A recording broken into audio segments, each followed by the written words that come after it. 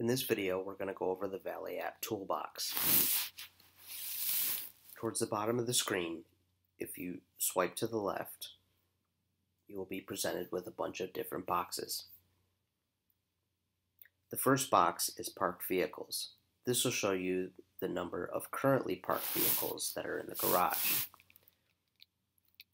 If you select it, it'll give you details of those currently parked vehicles.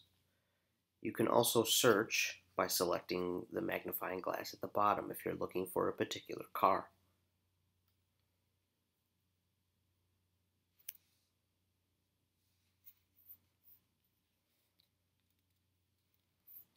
The next one is staging.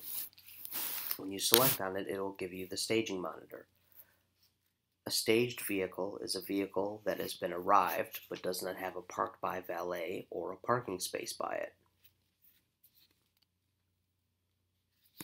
The next one is the parking monitor. The parking monitor will populate when a vehicle has been assigned to a valet but does not have a parking space attached to it.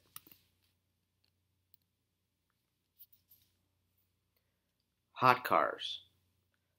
Hot car monitor are all hotel tickets that owe money. These are vehicles that were not able to be matched up and posted to the night before. Key drop. Key drop monitor is when a valet drops the keys and scans before dropping the keys. These are vehicles that do not have a parking space attached to them. Add room. This allows you to enter in a ticket number and add a room number to a hotel ticket.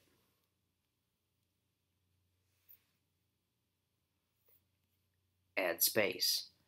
This allows you to scan a ticket and add a parking location. Inventory. Inventory allows you to scan all the vehicles and all the tickets on the board.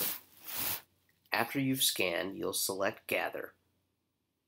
The software will determine the tickets that are not that have not been arrived yet into the system and also determine the checked out vehicles. After you've done the gather, you will select Scrub. The scrub will remove all the checked out vehicles that have not been returned in a timely manner. And it will also add the tickets in that have not been arrived.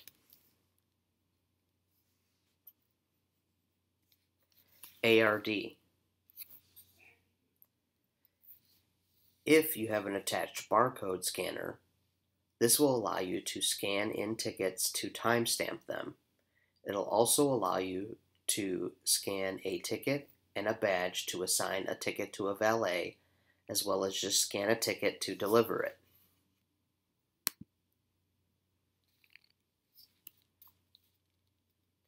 Check VIP.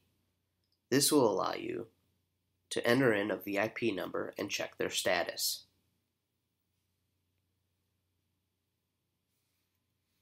Reactivate. Reactivate will allow you to reactivate a hotel ticket that has already been checked out so that the ticket can be reused.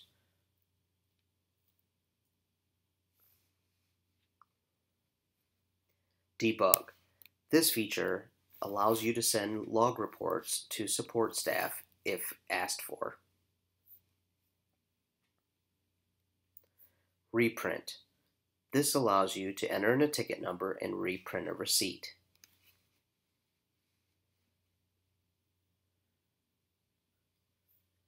Void transaction. If you need to void a transaction, enter in the credit enter in the ticket number and it'll allow you to void the ticket. Player lookup. This allows you to enter in a player card and check the status of that player card.